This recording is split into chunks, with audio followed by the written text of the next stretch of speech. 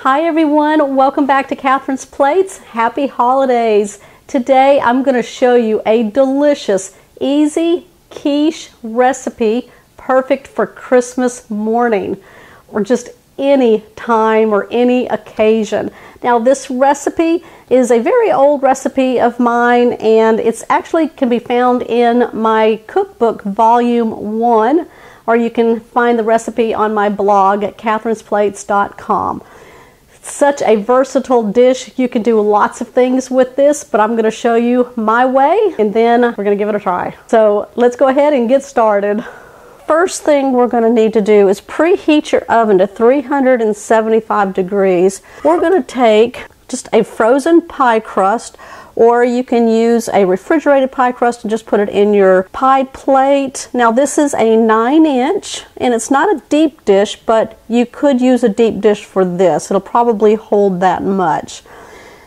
Because if you have extra filling that won't fit into your pie plate, you can always put it in a ramekin and cook the remaining mixture in that. I'm going to go ahead and get my burner onto a medium high heat. Just place a skillet on it. I'm going to be cooking some sausage and it's just a breakfast sausage. You can put ham or you can put bacon. As long as your meat is cooked through, it'll be perfect for this. So I've got half a pound of some, just a breakfast sausage. Now this is Jimmy Dean and it's just a mild version. I'm going to start breaking this up. Now, if you're going to place bacon in your quiche, make sure that you cook your bacon first. The ham, all you have to do really is just chop up your ham and you can put that in there. Now, if you want any other vegetables in your quiche, like peppers and onions, then I would go ahead and cook them with the sausage.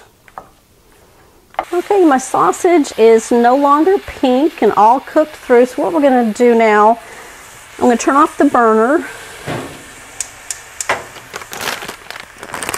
I've got some spinach here. I'm going to put about one to two cups of spinach in there. You know, spinach really just softens up. Probably be about two. This is just fresh baby spinach. If you want to use frozen spinach, you can just thaw it out and then squeeze out any of that excess water that's in there. I'm going to mix this up until the heat from the sausage softens that spinach. Now you can make these in advance and then freeze them. You would make them and then cool them down completely and then put them in your freezer, wrap them up really good, and then you can take them out when you need them and heat them up in the oven. Take off all the plastic wrap and then place it in the oven and then you would just cook it until it's heated through. Now I've placed my pie plate on a sheet pan, just lined it with some foil for easy cleanup. That's just to keep this, if it spills, then it has somewhere to go and not in your oven. I've got a ramekin sitting right here also. It's about a four inch. I'm just going to spray it with some cooking spray because there's no crust in there, so we don't want the egg mixture to stick. I'm going to go ahead and place my sausage and spinach into my pie plate and anything extra will go into my ramekin here. Now if you're using a deep dish, this recipe will work for the deep dish, but since I'm using just the regular crust, I want to make sure that I don't have any spillage going on there. We're going to go ahead now and whisk up our eggs and some seasonings and some milk to make it fluffy. I'm just using a very large mixing cup here. That way I can just pour it into my pie plate. If not, you can just ladle it in from a bowl. So I'm just going to crack my six eggs into our bowl.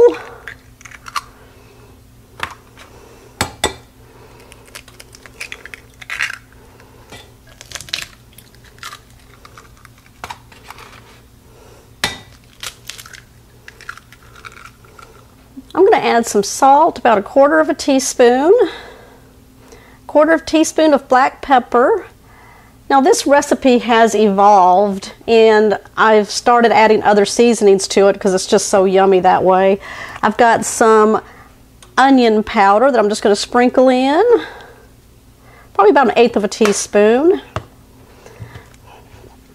some garlic powder. I want a little bit of garlic in there, so about eighth of a teaspoon. Very little, be careful when you pour it. You don't want to overpower it. Just like that. And then I love paprika in there. So, I'm gonna add a little sprinkling of that. Now you can adjust these seasonings to whatever you like. This adds a nice color and also this is the smoked paprika so it'll give it a nice flavor. I've got a measuring cup here. I'm going to put in one cup of milk. Now I found some heavy whipping cream in my refrigerator so I'm going to add that. I'm going to top that off to one cup with some milk. Or you can use one cup of milk. Just going to pour that in to my eggs. I'm going to whisk this all up until it's well combined.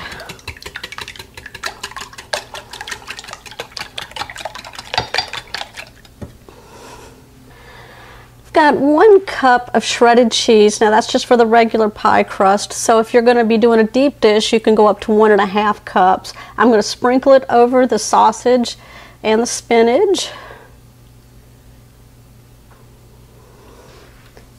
And then I put some in the ramekin also. Okay, I'm going to bring my egg mixture over and I'm going to start pouring it into my pie plate. Now we don't want to go over the edge.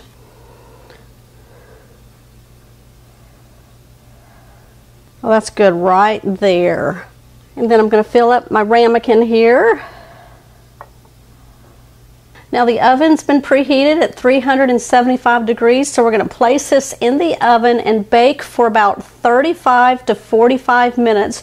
Now you want that egg mixture right here to be nice and solid before we pull it out of the oven. So if you need to give it more time, do that because you don't want to have a jiggly quiche.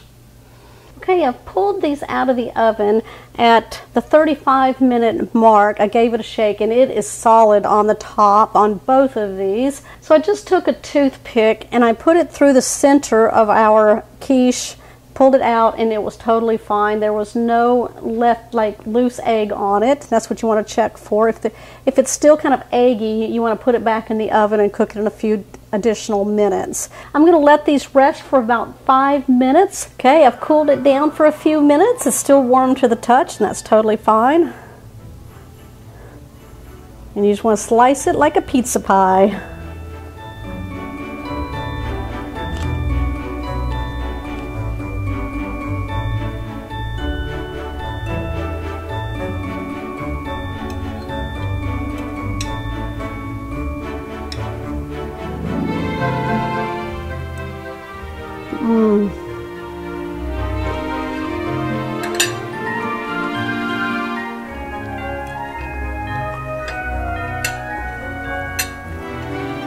That is so delicious. I'd wake up for Christmas morning for this one here. and you know, and to make it really easy, you can make these ahead of time, bake them off, cool them down, pop them in your freezer, wrapped up really good. And then on Christmas morning, pull it out, just let it take the chill off a little bit, pop it in the oven. Breakfast is served, or brunch. Yeah. Okay guys, let me know what you think. Give me a thumbs up and make sure that you comment down below. If you are new to the channel, you can hit the button here or in my description box. Go over here to see these two videos right here. I will follow you over there. And don't forget, this recipe can be found in my Volume 1 cookbook or on my blog, catherinesplates.com. Y'all go down in the description box, check out many more Christmas and holiday recipes. I'll see you on the next episode.